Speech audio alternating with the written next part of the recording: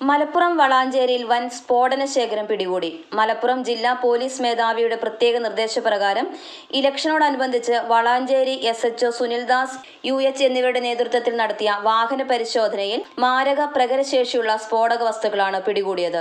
കഴിഞ്ഞ ദിവസം കൊടുമുടിയിൽ വെച്ച് നടത്തിയ വാഹന പരിശോധനയിൽ നടുവട്ടം സ്വദേശിയായ സ്വാമിനാഥൻ എന്നയാളുടെ പക്കൽ നിന്നുമാണ് ജനങ്ങളുടെ ജീവന് ഭീഷണിയായിട്ടുള്ളതും മാരക പ്രഹരശേഷിയുള്ളതുമായ ആയിരത്തി മീറ്റർ സേഫ്റ്റി ഫ്യൂസ് ആയിരത്തി ഒരുന്നൂറ്റി ഇരുപത്തഞ്ച് ജലാറ്റിൻ സ്റ്റിക്കുകൾ മൂവായിരത്തി മുന്നൂറ്റി നാൽപ്പത് ഇലക്ട്രിക് ഡിറ്റനേറ്റർ നാലായിരം ഓർഡിനറി ഡിറ്റനേറ്റർ എന്നിവ പിടികൂടിയത്.